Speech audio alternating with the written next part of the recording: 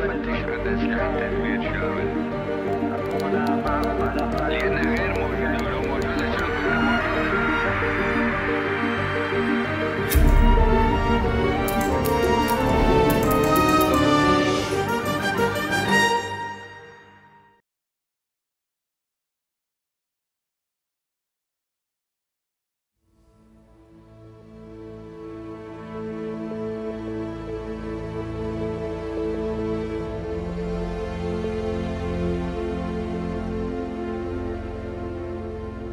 عشرية الدم كما يسميها المؤرخون. عقد تسعينيات القرن العشرين الأسود وصفحة مؤلمة في تاريخ الجزائر الحديث. اقتتال أهلي بين الجيش وجماعات إسلامية مسلحة عقب إلغاء نتائج انتخابات عام 1991 البرلمانية.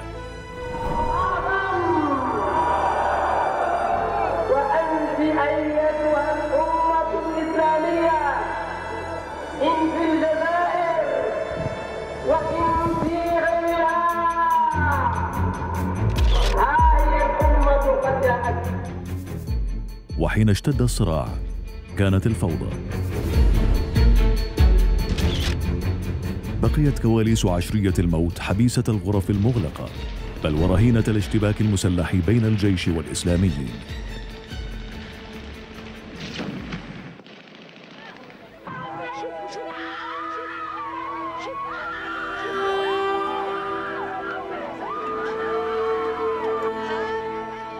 ذكرى أليمة. لا يحب الجزائريون الخوض فيها.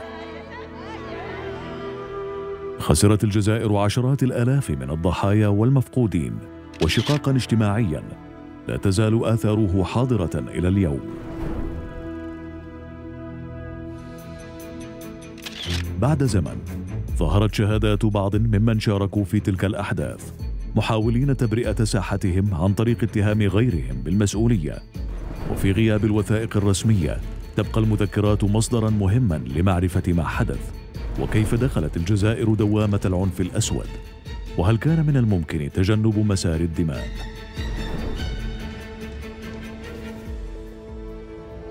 بعد أن هدأت أجواء الصراع قرر العسكري أن يكتب مذكراته.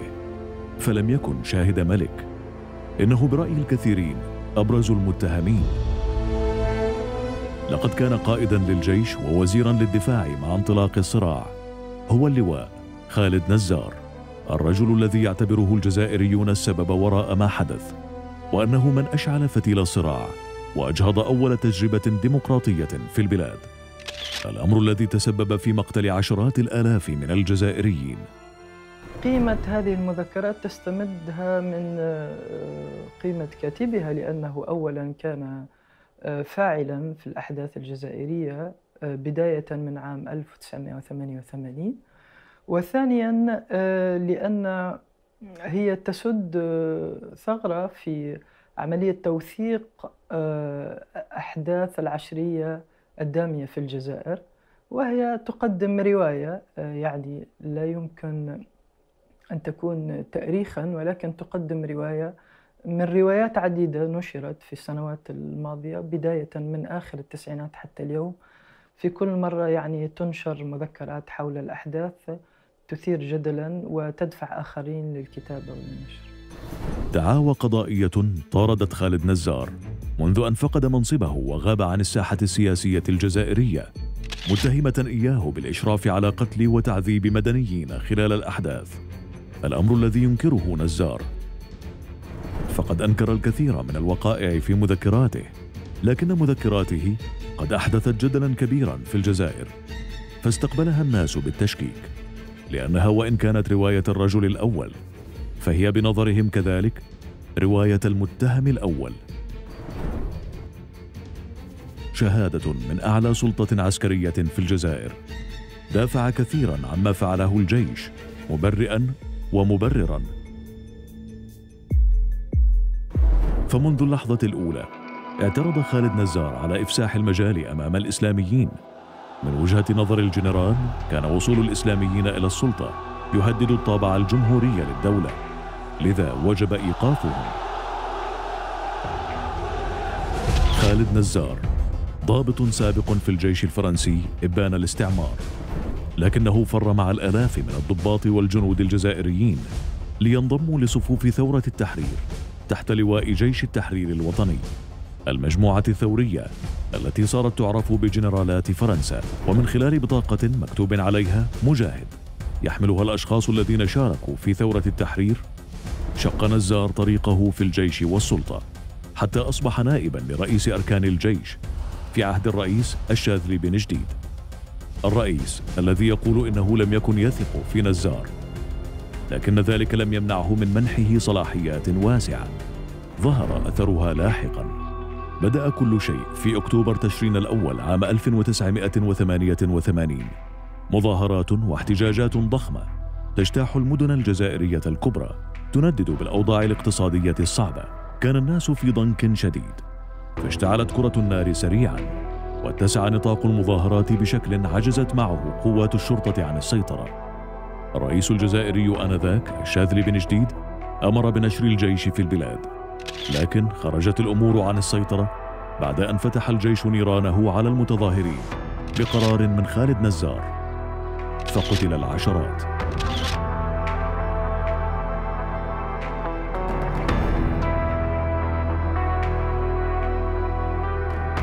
في مذكراته يبرر نزار قتل المدنيين مبررا ذلك بقلة خبرة الجنود والضباط في التعامل مع التظاهرات.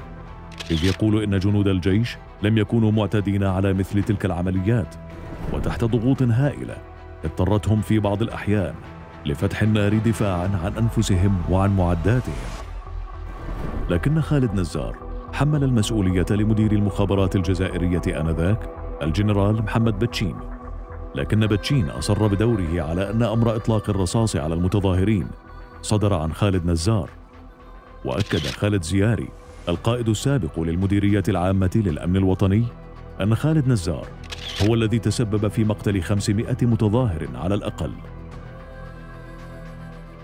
النصار بصفته كان وزير دفاع اذا كان هو الراجل المحوري والرجل الأول في كل ما حدث في الجزائر وحتى قبل آه، اندلاع آه، أحداث التسعينيات لعب دور خطير في قمع مظاهرات 5 أكتوبر من سنة 1988 باعتبار أنه نزل إلى الميدان وكان يطلب من الجيش أن يطلق النار بالمدافع. بمدافع الدبابات التي كانت موجودة في في الشوارع. وهناك آه، حادثة هو أنه الجنرال محمد بتشين الذي كان آنذاك آه، برتبة عقيد وكان مدير أمن الجيش كان معه في ساحة أول ماي. لما سمع جنرال نزار يعطي أوامر للعسكريين لإطلاق النار على المتظاهرين تدخل ووقع نوع من الاشتباك الكلامي ملاسنة بين الرجلين لأن جنرال بتشين لم يتحمل أن يطلق عساكر جزائريين النار على متظاهرين جزائريين. عندما أصدرت تلك الأوامر لم أكن أعتقد أنه من الممكن حدوث مثل تلك التجاوزات. ففي أكتوبر تشرين الأول عام 1988 أعطينا تعليماتنا للجنود بأهمية تجنب إراقة الدماء. وبرغم ذلك فإنني يمكنني القول إن عمليات التعذيب خلال أحداث أكتوبر هي وصمة عار يجب محوها بتجنب حدوثها مرة أخرى. لكني يجب أن أؤكد أن العنف الذي حدث خلال تلك الفترة لم يكن بالضخامة التي صورها الإعلام.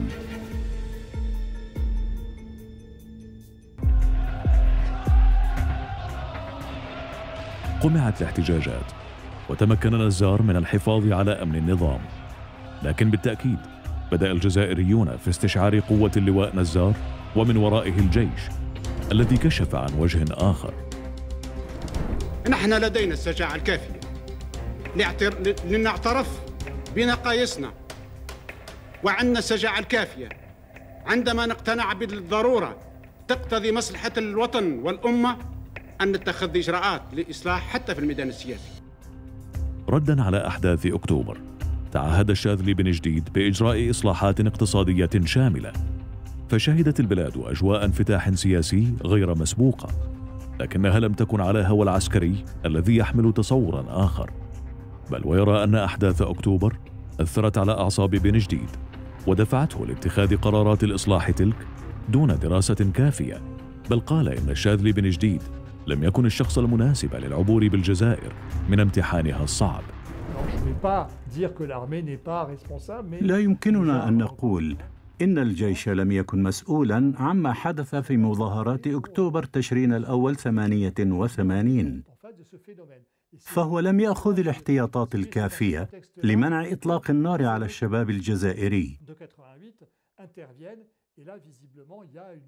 خلقت أحداث أكتوبر 88 مخاوف كثيرة عند الطبقة السياسية الحاكمة. وقد أدت في النهاية إلى فتح الباب أمام الديمقراطية.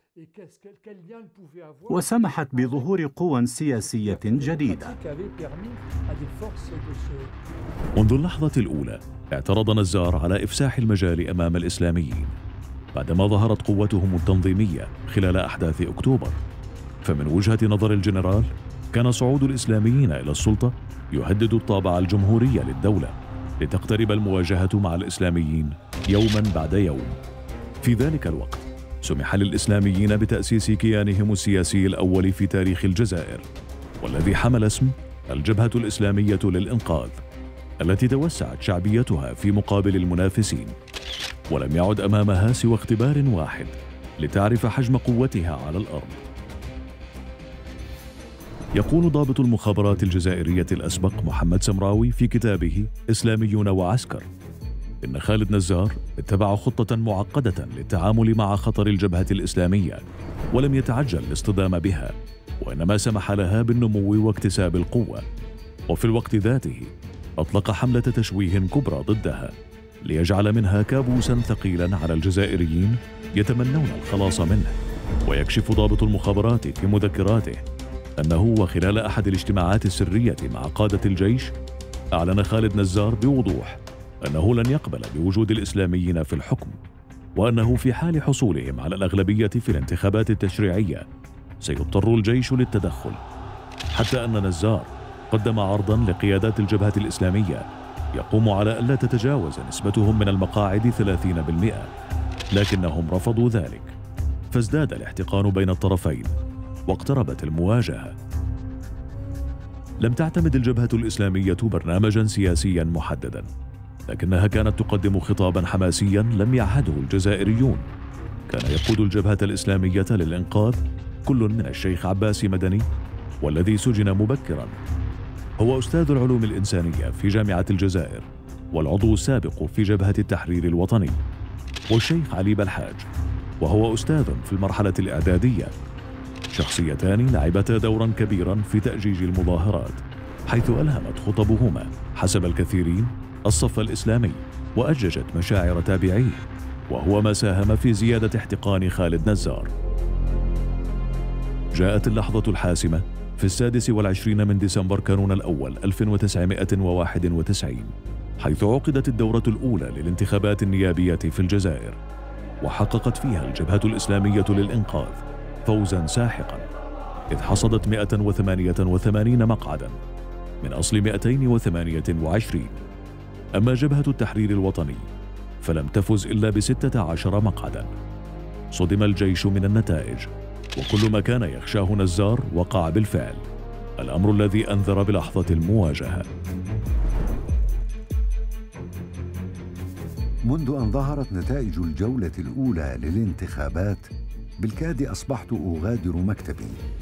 آكل وأنام في نفس المكان وأعطي لنفسي فقط بضع ساعات من النوم المضطرب. أتابع بدقة ما ينشر في الصحف من مقالات وتعليقات وتصريحات وأرى كيف يتعامل المثقفون مع الأصولية. أعلم أن الجزائريين لديهم ألف سبب للثورة ولكن هل الجبهة الإسلامية للإنقاذ هي الحل؟ هكذا كنت أتأمل الوضع. كنت حذرا تماما من النظام الذي تريد الجبهة إرساءه ولدي ألف سبب للشك في ذلك. إن استيلاء الأصوليين على السلطة سيعيد البلاد إلى العصور الوسطى وسيثير حربا أهلية. إن العملية التي توصف بأنها توقيف للمسار الديمقراطي كانت بالعكس تهدف في الأصل إلى المحافظة على الجمهورية وترسيخ الديمقراطية في البلد على المدى الطويل. الجزائريين الذين صوتوا للجبهة الإسلامية للإنقاذ صوتوا لحزب معترف به. لماذا تم الاعتراف بهذا الحزب؟ لماذا تم الاعتماد بهذا الحزب؟ مع العلم أن الدستور وقانون الأحزاب ينصان يعني جليا بأنه لا وجود لأحزاب تتبنى الدين أو الجهوية.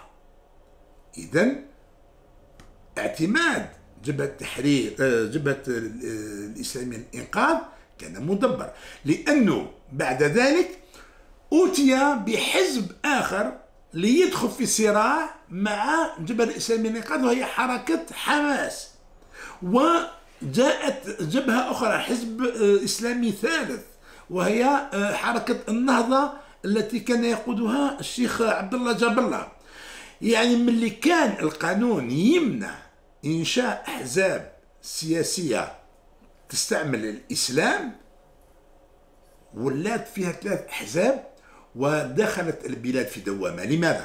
لأن كل هذا كان مخطط حتى تكسر الجزائر.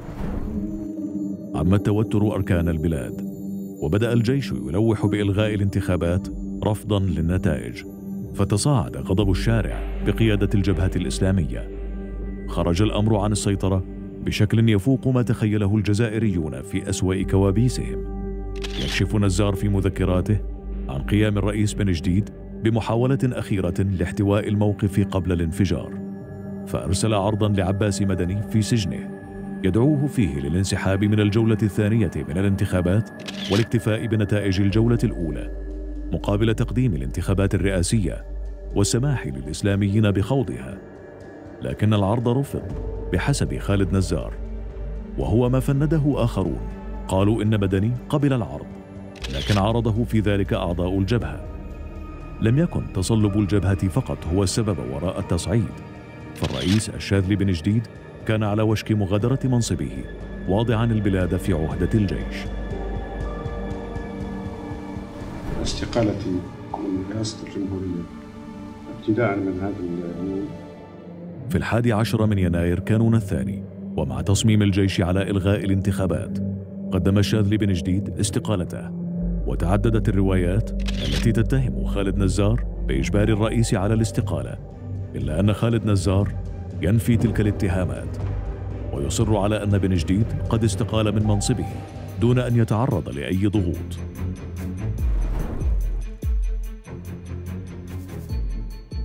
عقدت اجتماعي مع الرئيس في السادس من يناير كانون الثاني عام 1992 كان جالسا على مكتبه ينظر من خلال النافذة في صمت. بدأ كلامه همسا. أوضح لي أنه لا يرى طريقا للخروج من الأزمة إلا أن يسلم المسؤولية للجيش مرة أخرى طالبا مني القيام بالأمر بلا أي شوشرة. قلت لنفسي في تلك اللحظة إنها الاستقالة إذن.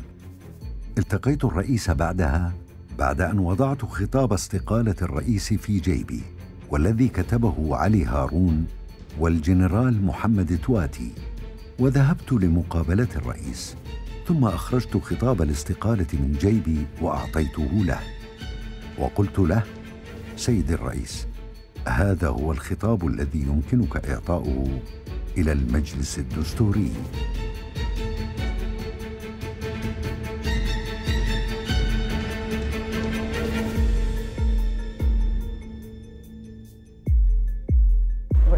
الشاذلي لم يكن ذا شخصية قوية مقارنة بأسلافه في الرئاسة أحمد بن بلة أو هواري بومندين تجعله قادرا على أن يتخذ مواقف قوية تجاه قيادة الجيش في تلك اللحظة. وأعتقد أنه حتى ولم يكن قد دفع للاستقالة كان سيستقيل لأن التركة كانت ثقيلة جدا في تلك اللحظة. كل المؤشرات اليوم آه، تؤكد أنه شادي بن جديد تمت إقالته مثل ما حدث في آه، أفريل آه، الماضي لما تمت إقالة بوتفليقة. إقالة في صورة استقالة. لأنه الجزائر أو الطبقة السياسية في الجزائر دائما لا ليس لها الشجاعة أن آه، تتحمل مسؤولية ما قامت به. هذا في جانفي 92 شادلي أرغم على تقديم استقالته. وهذا يعني أنه أن تمت إقالته. استقالة بن جديد كانت المسمار الأخير في نعش الانتخابات إذ انتصرت إرادة الجيش الذي أعلن إيقاف المسار الانتخابي. وفي غضون أيام دخلت الجزائر معركة صفرية ولم يكن هناك سقف لجنون العنف وصراع الدماء. تصاعدت الأحداث واشتبك الجيش مع الإسلاميين الذين حملوا السلاح. بدأ الجيش عازما على سحقهم بالقوة العسكرية وتحت غطاء مكافحة الإرهاب دخل الجزائر في الفوضى عقدا كاملا. في ذلك الوقت أعلن يخلف شراطي مسؤول لجنة الدعوة في الجبهة فتواه الشهيرة. الفتوى التي أباحت إعلان الجهاد ضد من يقفون إلى جانب السلطة. وردا على ذلك أمر الجيش باعتقال أكبر عدد من الإسلاميين وشن رجال الشرطة معها حملة شعواء. لاعتقال كل ملتحن نزار وضع أسس آه، ما حصل في الجزائر لاحقا. طبعا هنا لا يمكن تحميل المسؤولية النزار وحده لأن الجيش والإسلاميين يتحملون الاثنين المسؤولية لما وقع في الجزائر. ولكن نزار هو من اتخذ قرار إيقاف المسار الانتخابي وتشكيل مجلس الدولة حتى وإن كان خرج بشكل مبكر من السلطة ولكنه بشكل سياسي يتحمل جزء كبير من المسؤولية كما تتحمل الجبهة الإسلامية الإنقاذ جزء كبير من المسؤولية في مذكرات خالد نزار يتحدث عن تفاصيل العمليات الأمنية محملا المسؤولية لعنف الإسلاميين الذي أخذ يتصاعد. ثم يتحدث في مذكراته عن تفاصيل اغتيال الرئيس الجزائري محمد بوضياف عام 92 محمد بوضياف الذي لقب بالسي الطيب الوطني كان أحد كبار رموز الثورة الجزائرية ضد الفرنسيين والذي نصب رئيسا للمجلس الأعلى للدولة الذي تم استحداثه بعد استقالة الشاذلي بن جديد عله يتمكن من إصلاح الأمور. لكن خلافاته مع اللواء خالد نزار بدأت تطفو على السطح. فالقائد التاريخي للجزائر. لم يكن ليسمح بأن يسيره العسكريون. لكن وبعد مرور خمسة أشهر فقط على تنصيبه رئيسا للمجلس الأعلى للدولة. يواكب هذا التقدم مجتمع اللي يستاهل يعني القيمة نتاع يعني شعب ما يقبلش مسائل كيما هذا. هنا نشوفوا هذا الدول اللي فاتتنا باش فاتنا فاتنا بالعلم والدين تاع الإسلام. اغتيل الرجل بطريقة دراماتيكية على يد أحد حراسه. خلال إلقائه خطابا على الهواء مباشرة. ظلت ملابسات اغتياله غامضة واتهم البعض المؤسسة العسكرية بتنفيذها حتى أن عائلة بوضياف كانت تتهم خالد نزار بتدبير عمليات الاغتيال. من جانبه ألقى نزار بالمسؤولية على الجبهة الإسلامية وقال إن القاتل مبارك بومعارفي وخلال التحقيق معه لم يخف قناعاته الإسلامية وأنه تربى على يد أحد قيادي جبهة الإنقاذ. ضمن سطور مذكراته وعقب اغتيال محمد بوضياف يتحدث اللواء عن زيارة قام بها إلى المملكة السعودية بدعوة من الملك فهد بن عبد العزيز. حاول النزار الحصول على دعم السعودية في مواجهة الأحداث. ونفى الملك فهد في حديثه أن يكون النظام السعودي يمول الإسلاميين في الجزائر. في الرياض التقيت الملك فهد وعند تناول مسألة الإسلاميين قال لي إنهم ليسوا مسلمين وراح يكررها ثلاث مرات. العصا العصا العصا. لم يخف الملك فهد وجود مواطنين سعوديين يعيشون في الخارج يقومون بتمويل الإسلاميين. لكنه أكد أن الدولة السعودية لا تقدم أي مساعدة لهذه الجماعات. ثم أفصح لي الملك عن قصة وقعت مطلع التسعينيات عندما استقبل كل من عباس مدني وعلي بلحاج وذلك أثناء دخول الجيوش الغربية إلى الأراضي السعودية خلال حرب الخليج. اقترح زعيما الجبهه على الملك إرسال مليون مقاتل بدون مقابل مالي. الاقتراح جاء رفضا لتدنيس القوات الغربية للتراب السعودي. فرفض الملك العرض. باعتبار أنهما لا يمثلان الدولة الجزائرية. عدت بعدها إلى الجزائر وبجعبتي عدد من المشاريع التي مولتها المملكة رغم كونها مثقلة بتبعات حرب الخليج التي كانت لتوها خارجة من مشاكلها. وقد احتفظت بهذه الشهادة ولم أفصح عنها إلا اليوم لإبعاد هذا البلد الصديق من أي رد فعل سلبي من الإسلاميين. لا شك أن الجزائر قد سقطت في اتون الدم وصارت قيادات الصراع هدفا لكل طرف. حتى أن خالد نزار قد تعرض لمحاولة اغتيال تطرق لتفاصيلها في مذكراته وقد تركت اثرا كبيرا في نفسيته. فقرر بعدها التخلي عن منصبه تاركا قيادة الجيش الجزائري في مرحلة عصيبة. على مدى عقد من الزمان كان الاقسى في تاريخ الجزائر المعاصر. دفع الجزائريون ثمنا باهظا لتدخل جنرالات الجيش في الحياة السياسية. خسرت الجزائر عشرات الآلاف من الضحايا. وخلف الصراع مجتمعا ممزقا. لم يلتئم شتاته لسنوات. رغم ذلك لم يبدي الجنرال نزار ندما على ما حدث. رغم ما طرده من دعاوى قضائية تطالب بمحاكمته حيث حل. بل إن الرجل قال ان ما فعله. حال دون تحول الجزائر إلى أفغانستان جديده